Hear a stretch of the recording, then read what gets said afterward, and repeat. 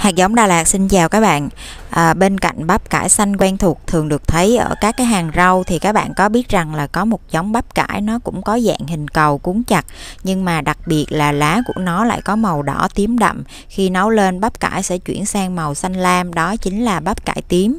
Hôm nay shop hạt giống Đà Lạt sẽ chia sẻ với các bạn về cách tự gieo trồng bắp cải tím tại nhà từ hạt giống chỉ với một vài bước kỹ thuật không quá khó thì mỗi gói hạt giống bắp cải tím và hạt giống Đà Lạt cung cấp như thế này thì sẽ có khối lượng là 0,5 gram. Và đây chính là một cái lượng hạt giống bắp cải tím mà mình đã khui từ trước. Bắp cải tím là một cái giống cây ưa sáng nhưng đó là ánh sáng của khí hậu lạnh ánh sáng yếu cho nên thời điểm thích hợp để gieo trồng chúng là từ tháng 8 cho đến tháng 11 hạt giống bắp cải tím các bạn sau khi khui mở bao bì thì mình có thể gieo ngay. Tuy nhiên nếu muốn hạt nhanh nhú mầm lên cây con thì cần xử lý hạt một chút bằng cách là mình sẽ ngâm và ủ. Các bạn sẽ ngâm hạt giống trong nước ấm hai sôi ba lạnh và cho vào trong cái nước ấm này. Một giọt nhỏ atonic có tác dụng kích nảy mầm.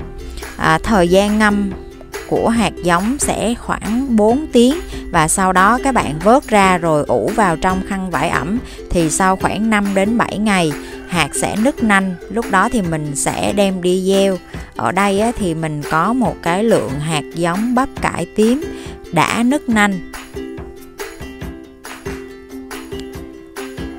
Và bây giờ là thời điểm để mình đem đi gieo. Những hạt nào chưa nứt á như ờ, bên dưới các bạn thấy đây ha thì mình sẽ tiếp tục ủ chờ đến khi nứt thì mình sẽ đem đi gieo sau.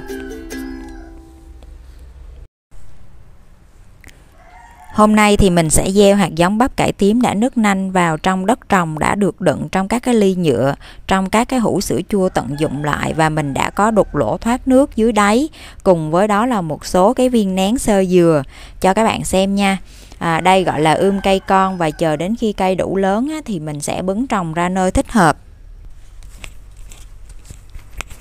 Bắp cải tím thì chỉ thích hợp với đất hỗn hợp dạng nhẹ có độ pH khoảng từ 5,5 đến 6.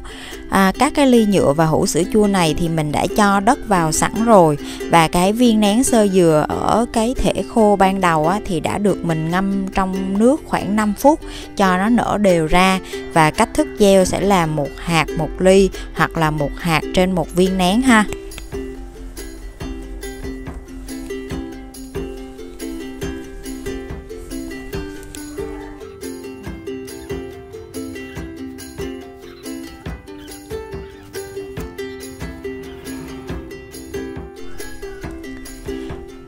Sau khi gieo xong á, thì các bạn sẽ phủ một lớp đất cực mỏng lên trên rồi mình à, tưới ẩm.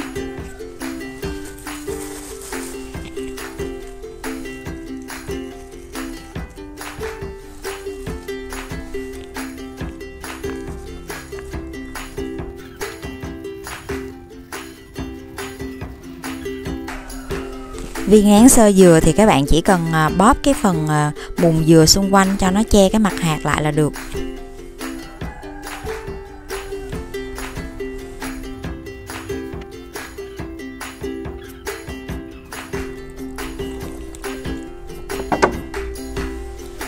Các bạn sẽ dùng một cái à, à, miếng à, một cái vỏ bao bì như thế này để che đậy lên trên cái à, cái thau đựng các cái ly hạt giống.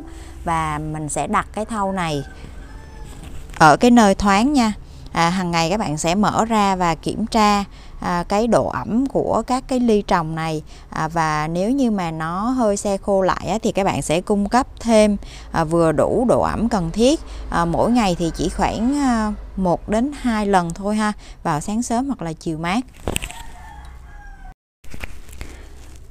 Bắp cải tím sau khi gieo hạt giống vào đất được khoảng 3 ngày thì sẽ bắt đầu à, nhú mầm vươn lên khỏi mặt đất.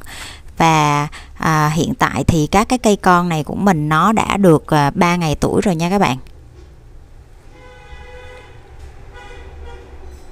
Các bạn lưu ý rằng là khi mà à, cây con nó nhú lên á, thì à, mình sẽ ngừng tưới nước trong khoảng thời gian từ 1 đến 2 ngày. Sau đó các bạn sẽ tưới nước lại nhưng mà tưới cách ngày thôi tức là cứ 2 ngày mình sẽ tưới nước một lần. À, nếu như nhà các bạn có những cái à, thau giống như mình hoặc là có những cái à, khay có thể à, đựng nước được á, thì à, mình có thể cho những cái ly trồng này vào trong các cái thau các cái khay và mình cho nước vào trong đáy khay đáy thau một ít thôi để cho những cái ly trồng này nó sẽ tự động hút nước dần từ từ mà mình không cần phải mất công à, tưới lên trên cái bề mặt của đất thì nó sẽ rất là tiện lợi. À, bớt đi một à, phần công chăm sóc cho các cái cây con.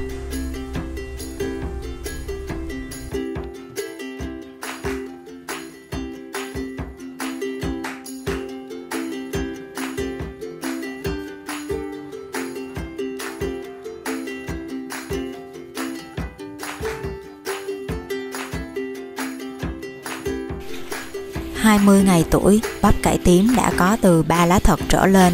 Mỗi ly trồng mình có bỏ thêm vỏ trứng bóp nhỏ xung quanh gốc. Bây giờ chờ thêm khoảng 10 ngày nữa, khi cây nào có tầm 6 lá thật thì có thể bứng trồng ra nơi cố định. Các bạn không nên trồng cây con còn non quá sẽ dễ bị chột chết cây, đồng thời cũng nên nhớ tưới bổ sung dinh dưỡng định kỳ cho cây mau lớn. Chúc các bạn gieo trồng thành công gọi 0867 772 877 để được tư vấn thêm hoặc truy cập website hạt giống đà lạt.com để tìm hiểu chi tiết thêm nhiều sản phẩm hạt giống chất lượng khác.